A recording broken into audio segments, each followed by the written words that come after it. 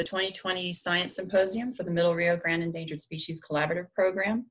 Um, I'm so excited about the participation uh, that all of you have shown and uh, the enthusiasm, and also just uh, having you bear with us through some of the minor technical difficulties we've been having and, and for doing this over Zoom. We really appreciate your, uh, your participation.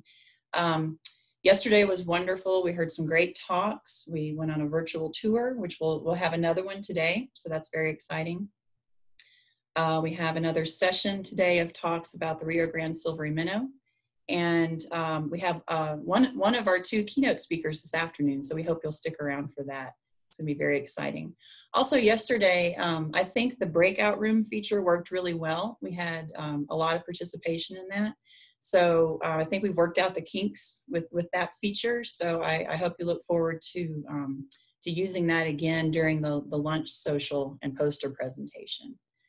Um, and I don't know about you guys, but I was really excited to uh, wake up to a light dusting of much needed precipitation outside. I hope you guys got some too. It's, it was really nice.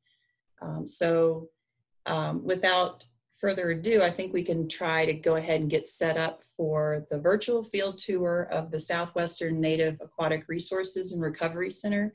And that's going to be given by Wade Wilson and Debbie Lee is going to be uh, moderating that session. So go ahead, Debbie, thanks.